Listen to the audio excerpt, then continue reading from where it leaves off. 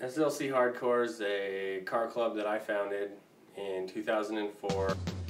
We as a club pride ourselves on driving what we've built and we especially pride ourselves on building what we drive. The kind of cars that we have typically described as being rat rods. Uh, your regular average Joe would look at it and think, oh man, that thing's not done yet because it's still in primer or we just left the original paint on it that's rusted and seen 60 years of weather and sunlight. Salt Lake City Hardcore is about building what you want the way you want it because you want it that way.